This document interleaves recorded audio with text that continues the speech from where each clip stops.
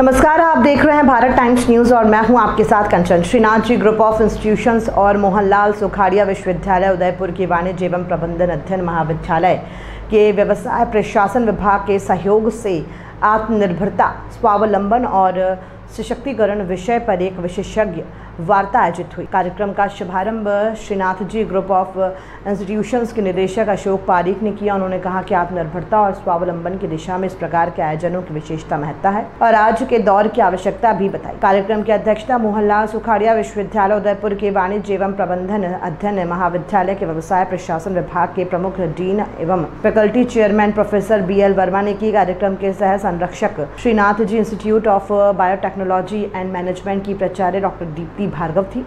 आयोजन सचिव डॉक्टर सचिन गुप्ता ने कार्यक्रम का परिचय दिया। विशेषज्ञ वक्ता प्रोफेसर अमरजीत कौर, डीन वाणिज्य एवं प्रबंधन संकाय गुरुग्राम विश्वविद्यालय गुरुग्राम ने आत्मनिर्भरता, स्वावलंबन और सशक्तिकरण के विभिन्न पहलुओं पर गहन चर्चा की। उन्होंने कहा कि सशक्तिकरण भारत को आत्मनिर्भर बनाने के लिए अत्यंत आवश्यक है। उन्होंने आत्मनिर्भरता के विभिन्न मापदंडों और इसके लिए आवश्यक कदमों पर विस्तार से बताया। प्रोफेसर कौर ने इस कार्यक्रम को विस्तार से समझाया और आत्मनिर्भरता, स्वावलंबन और सशक्तिकरण के महत्व पर चर्चा की। उनके वक्तव्य के बाद छात्रों ने विषय से संबंधित कई प्रश्न पूछे और प्रोफेसर कौर ने उन सभी प्रश्नों का संतोषजनक उत्तर दिया।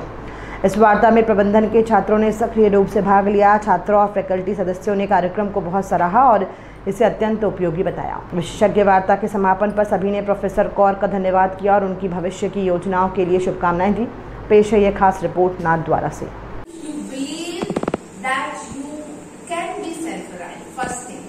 And then you realize that I need to be resourceful.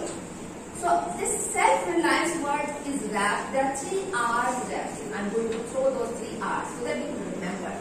What are those three R's in self-reliance? Resourceful, reliable, and resilient. Three R's. What are they? And resilient. Resourceful means being able get away with all the hindrance and take action. ये उसने किया right reliable people को trust in you you know अगर employees को बोला कि phone करके कि come I will pay you you know people have some reliability factor तभी तो आ गए ना, बिना सैलरी के सप्लाईज भी आ गए।